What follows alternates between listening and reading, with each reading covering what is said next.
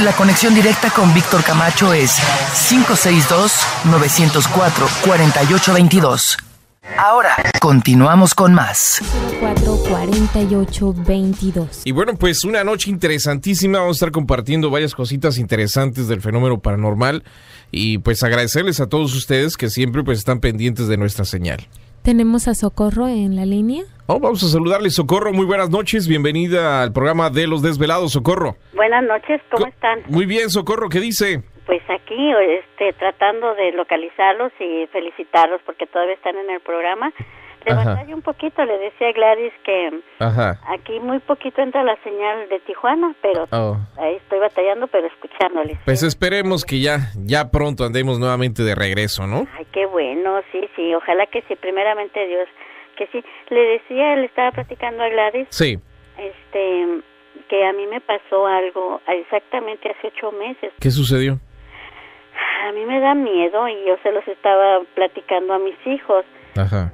No, no se los había contado antes. Ellos pensé que ellos estaban más y más, este, mm, débiles en este sentido. Mire, un, este, vine aquí a Los Ángeles. Ajá. Nosotros tenemos en este apartamento viviendo como ya vamos para seis años. Este, seguido yo miraba cosas, pero no les decía a mis hijos. Resulta que en febrero que vine para acá, a mi hijo, a Hernán, le regalaron un, un duende. Entonces, el monito está como curiosito, pero a la vez está feo. Y dice que es original de Noruega. Oh, ok. Y este, entonces, como yo los he escuchado por muchos años a ustedes, Ajá. yo sé que hay duendes buenos, hay duendes malos, pero este monito, le voy a ser sincera, a mí cuando se lo dieron, me cayó gordo el monito. Sí, porque son así medios feitos, ¿verdad? y Sí. me, y me cayó gordo, entonces, este, como que yo tenía algo en contra del mono. Cuando llegó el monito aquí, y se nos empezaron a perder todo. Oh, oh. Vivimos en un cingo. Sí. No encontrábamos los zapatos, si los dejábamos en algún lado. Eh, infinidad de cosas que se nos pegan los zapatos, que el lápiz, que la pluma, que esto, que el otro. Pero lo más grave para mí, a mis hijos no les ha pasado nada. Este, son dos hombres y una mujer, y este, a mí sí. Resulta que estaba yo dormida, pero entre dormida y despierta. Ajá. Y yo sentí que esta cosa me puso boca abajo y como que quería atacarme eh, sexualmente, pero yo ya soy grande, bueno, tengo Sí. 54 años y yo decía que no, que no, entonces yo me resistía Ujú. y, y la cosa esta yo traté de, de como de mirarla y sí la logré mirar, volteé y estaba su cara a nivel de la mía, pero la cara de él mucho más grande. O sea, como que esto había crecido el muñequito este. Yo me imagino que algo más grande que una persona, o yo estoy chaparrita, mido 5'4", estoy chiquita todavía, Ajá. de estatura nada más. Entonces, este, a mí me dio miedo y yo me negaba, yo decía que no y como que él me hablaba o trataba de comunicarse conmigo no no con voz sino por la mente, yo decía que no, que no podía estar pasando y yo me repetía, ay Dios mío, no, no puede ser, no quiero estar pensando en esto. Yo soy catequista y a mí me pues estoy más a nivel de las cosas de Dios que de la otra cosa, de la otra persona. Entonces, este él me toma mi mano derecha.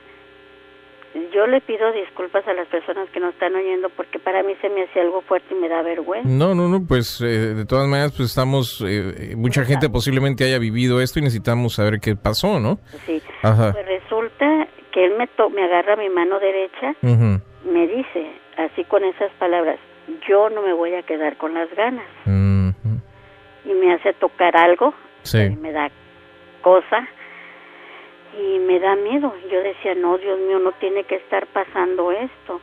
Yo me resistía, entonces me dice que él era mi abuelito.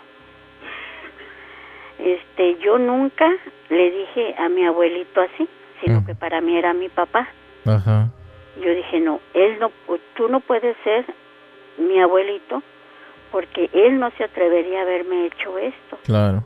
Entonces yo como he oído los programas de ustedes y que estas personas o estos seres cuando nos atacan o, quieren como mm, tomarnos de sorpresa si nosotros decimos no mi abuelito le gustaba la, la nieve de vainilla como no está- yo lo estoy pensando ellos pueden tomar mi pensamiento. Y yo no yo nunca les dije que a mi abuelito le decía así. Nunca nunca que yo me acuerdo le dije abuelito siempre papá entonces dije no él él no me podía hacer esto y yo sentí como que me aventó muy fuerte y me hizo unos rasguños en la espalda, también del lado de la mano derecha.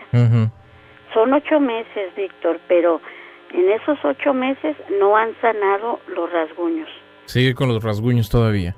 y me duele. Ajá. Yo le estaba platicando, yo tenía miedo, se lo platiqué a mi esposo, este, incluso en un programa allá en Tijuana, no recuerdo, hará unos tres meses que estaba una persona, dos personas, un hombre y una mujer que estaban hablando de los duendes y de los ángeles y lo platiqué. Ujú. Ellos me platicaron el de los duendes que le pusiera leche y uh, mapeara con amonia y un granitos que porque ellos tienen un hoyo en la mano. Pero le digo a Gladys que um, ahora vine otra vez, volví a, bueno, ya con estas son tres veces que vengo aquí a Los Ángeles y yo vine como para principios de julio, para el 4 de julio, porque traje a, una, a un niño a llevarlo a Disneylandia, pero ahora fue al revés. Ahora era una mujer la que me atacaba, pero yo estaba ahora sí boca arriba y ella intentaba besarme y como yo me resisto, digo, no, no puede ser, es una mujer y yo decía, guácala. Y le digo a mi hija que yo sentía como las babas así, ¿no? Y me da miedo. Este, y me dice mi hija, dice, mami, lo que pasa es que a lo mejor tú eres más débil, porque como estás más, como le digo, le repito, tengo ya 35 años de catequista, y yo trato, en- incluso en mi forma de ser y todo, pues dar testimonio de que me porto bien y todo eso, pero no le doy una explicación por qué me pasan a mí esas cosas, Y solo en esta casa, ¿verdad? solo aquí en esta casa aunque en Tijuana, la casa de nosotros, que también es de ustedes, Gracias. este, pasan igual de cosas, pero allá no me da miedo. En mi casa en Tijuana hay tres sombras, una muy grande, más oscura que la oscuridad, se puede decir, y hay una mujer blanca con el pelo largo y como vestida con una túnica blanca, y un niño como de unos cuatro o cinco años de melena. no me dan miedo. Y al contrario, yo pongo veladoras y digo que si buscan la luz, que pues que Dios los perdone lo que hayan hecho. Pero fíjese, Víctor y a Gladys también, bueno, a Miguel también que está ahí, este, esa casa, nosotros nos venimos de Guadalajara y era casa de una señora que hacía brujerías, que en paz Ujú. descanse y Dios la perdone, se llamaba Rubí Ajá. era una norteamericana.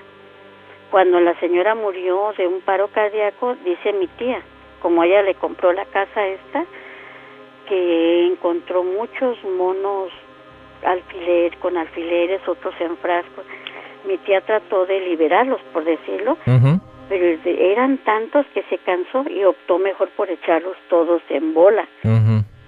A mi hijo, el de en medio, en esa casa, había un hoyo. Ya ve que en Tijuana o partes de aquí usan las paredes de yeso. Había un hoyo.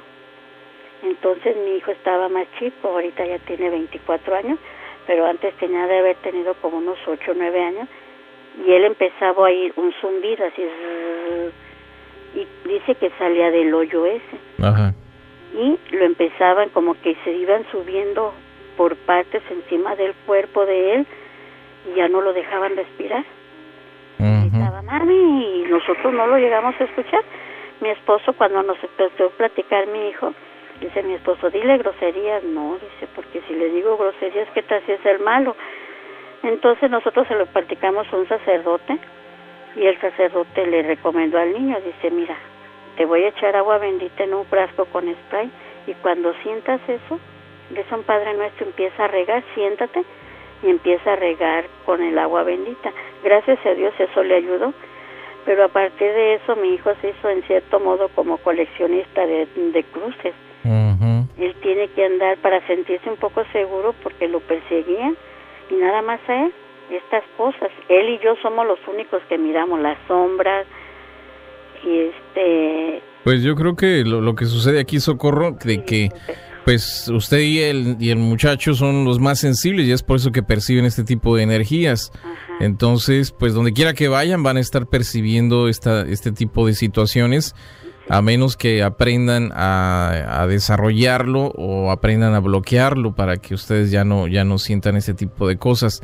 Eh, Socorro, déjeme ir a la pausa, pero le agradecemos mucho por, por llamarnos y sobre todo por compartir estos relatos con nosotros muy muy interesantes y bueno invitamos a la gente que si tiene algún relato semejante nos eche un telefonazo para seguir escuchando más historias como estas no le cambies porque los desvelados con Víctor Camacho ya regresan